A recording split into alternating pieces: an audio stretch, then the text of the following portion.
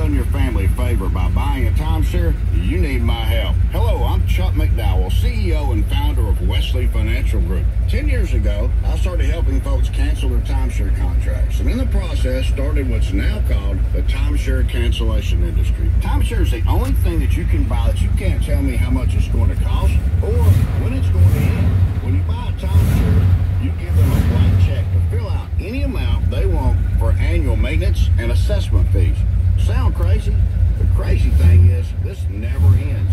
Stop the insanity today. Call my office now. I guarantee if we can't cancel your timeshare contract, you'll pay nothing. Were you lied to when buying a timeshare and want out? Get the facts about time.